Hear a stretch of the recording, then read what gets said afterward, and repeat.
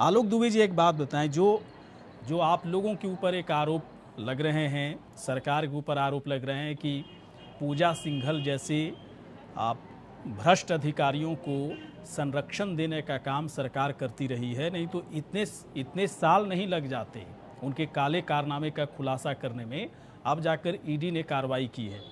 इन आरोपों के आधार पर कांग्रेस पार्टी, आपकी सरकार का क्या स्टैंड है? आप लोग आप क्योंकि आ, मैं देख रहा हूँ पूजा सिंघल के मामले पर आप लोगों का अपना पक्ष रखने की जगह बीजेपी के ऊपर आप लोग आरोप लगाते हैं। बताइए सर। हाँ बहुत अच्छा सवाल आपने पूछा है गौरी शंकर जी पूजा सिंघल जी हो या कोई भी भ्रष्टाचार में अंतर्लिप्त व्यक्ति हमारे घर में और कांग्रेस के दफ्तर में वो कल से पूछते रहे हैं क्या? 2001 में बाबूलाल मरांडी जी झारखंड के पहले मुख्यमंत्री थे। हम्म। उस समय उन्होंने कहा था कि झारखंड में भ्रष्टाचार की वजह से उन्हें रातों को नींद नहीं आती। इसका मतलब कि उसी समय भ्रष्टाचार ने अपनी जड़ें झारखंड के अंदर में पैर पसारना शुरू कर दिया। Number one. नंबर दूसरा रघुवर दास जी के शासन काल के पाँच वर्ष और झारखंड के 22 वर्षों के युवा अवस्था में 17 वर्ष भारतीय जनता पार्टी का शासन रहा है जनाब। और भारतीय जनता पार्टी के प्रदेश अध्यक्ष जी का अभी मैं सुन रहा था, कांग्रेस डरी हुई है, सहमी हुई है, घबराई हुई है, ये चंबल घाटी के डाकू हैं क्या जो हम इनसे डरे हुए हैं? झारखंड की जनता ने लोकतांत्रिक व्यवस्था के तहत इनको सत्ता से बाहर किया।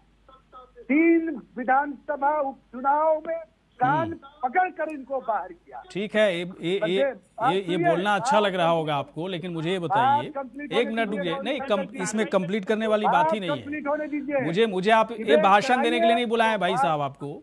है ना? भाषण आप दे रहे हैं। मेरे मेरे मैं दे रहा हूँ भाषण।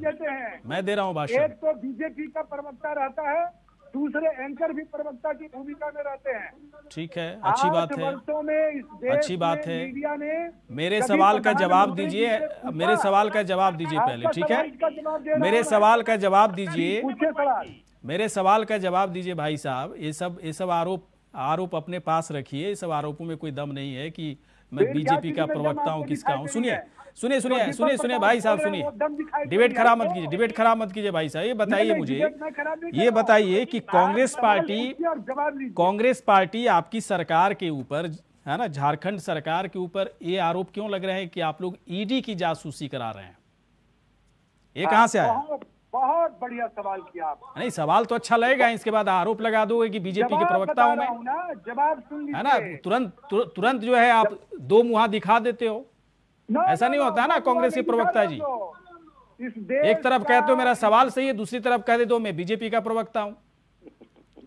आप पहले पूरी बात कंप्लीट करिए बोलिए बोलिए बोलिए अब आप बोलिए। इस देश में जासूसी प्रधानमंत्री जी ने कराया पेगासस के माध्यम से। किसकी जासूसी कराया? पत्रकारों की सामाजिक कार्यकर्ताओं की नेताओं की मंत्रियों की इजराइल कंपनी जो सॉफ्टवेयर था लोकतंत्र के ऊपर जासूस ये प्रधान ये जो बीजेपी के नेता है ना ये हल्की बात करते हैं। आप आप जो है ना आप 2000 2021 22 झारखंड सरकार हेमंत सरकार के बारे में कोई बात नहीं करोगे। ये मुझे बता दो नहीं करूँगा बात? तो कीजिए ना तो आप। आप अंग, आप आप अंग्रेज़ों के काल की बात क्यों कर रहे हैं? अभी अभी वर्तमान की बात कीजिए। ये दो साल में ये दो साल में भ्रष्टाचार के इतने मामले सामने आए और पूजा सिंघल के मामले में ये काम तो बहुत पहले होना चाहिए था ईडी की तरफ़ से। ईडी की तरफ़ से नहीं बल्कि आप लोगों की तरफ़ से एक खुलासा किया जाना चाहिए था। इतने इतने पैसे मिले। ईडी के कार्रवाई को मैंने क्या कहा? मैंने कहा कि वो जस्टिफाइड है और हम उसकी तरफदारी कर रहे हैं। अरे ये तो बीजेपी कह रही है और आप उसके हाँ में हाँ मिला रहे हैं। मैंने कब कहा? रोज कार्रवाई करवाई है ईडी से। और जो पाँच साल में तो आप लोगों ने क्यों नहीं किया? हैं आप लोगों ने क्यों नहीं किया भाई साहब? हम क्या करें इतने पैसे इतने पैसे 25 25 30 30 करोड़ रुपए कैश में पड़े हुए तो आप लोगों को पता नहीं था क्या ये पूछिए बीजेपी के नेताओं से